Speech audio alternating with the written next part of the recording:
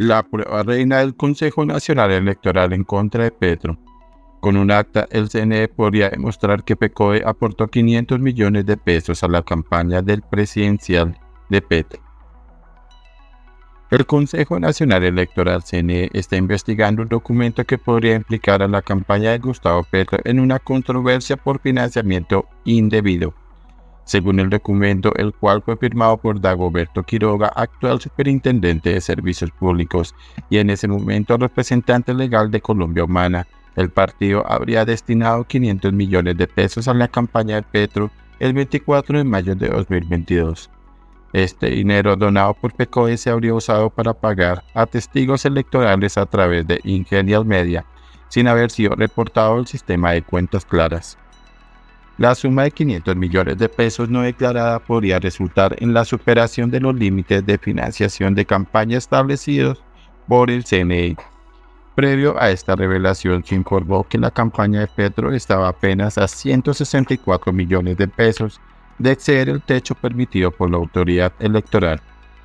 La inclusión de esta cantidad no reportada de dinero podría, por ende, constituir una violación de las normas electorales colombianas. Esta situación plantea serias preguntas sobre las finanzas y la transparencia en la campaña del ahora presidente Gustavo Petro.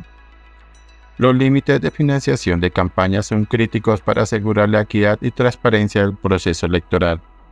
Al exceder estos límites, cualquier campaña corre el riesgo de enfrentar sanciones legales, además de cuestionamientos sobre la legitimidad de sus fondos. Este caso subraya la importancia de la vigilancia y el cumplimiento de las regulaciones electorales por parte de todos los actores políticos. Hasta ahora las reacciones oficiales de Colombia Humana y las partes implicadas no han sido divulgadas, lo que añade una capa de incertidumbre sobre el caso. Ya se sabía de la donación. Si bien el acta sería la comprobación de que PECODE o no presuntamente dinero a la campaña de Petro, es importante tener presente que el país ya tenía conocimiento de que el sindicato de maestros habría dispuesto esa cantidad de dinero para donar. Por otra parte, se debe tener presente que para realizar la donación aprovecharon de alguna manera de un vacío legal, pues según lo dicho en la silla vacía por el entonces tesorero de FECODE, Nelson Alarcón, sí la dimos la plata para la finalidad de la campaña presidencial tomamos la decisión de hacer la donación y me delegaron a mí para todo. Yo hice los trámites, yo hice los contactos, hablé con el gerente de campaña.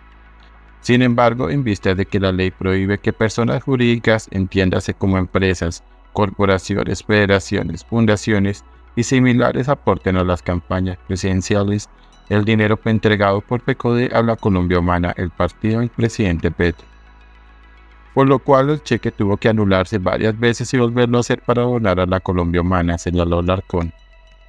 En el acta que Colombia Humana reportó al CNE se detalla la entrega del dinero por parte de PECODE.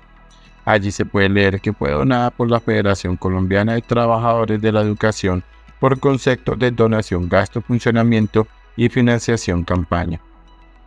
Con lo anterior se abre el debate a por qué no se cuestionó desde el 2022 la entrega de dinero por parte de PECODE al movimiento político, entendiendo que textualmente se podía leer que ese era su objetivo. Ahora bien, también cabe preguntarse quién revisa las actas del CNE. La silla vacía habló con Colombia Humana para conocer su postura. A ellos respondieron que solo ante un ente de control y o juez de la República estamos obligados a responder sobre los procesos contables de nuestra organización política.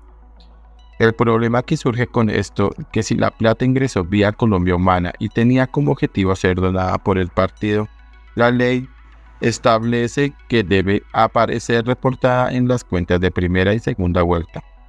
No obstante, el dinero no aparece en ninguno de los documentos, lo que da a entender que en teoría la plata se quedó en manos de la Colombia Humana que aseguró que había gastado en el pago de entre 50 mil y 250 mil pesos a testigos electorales para que tomaran fotos a los E14. Por ahora todo es materia de investigación y se espera que el CNE avance en la diligencia.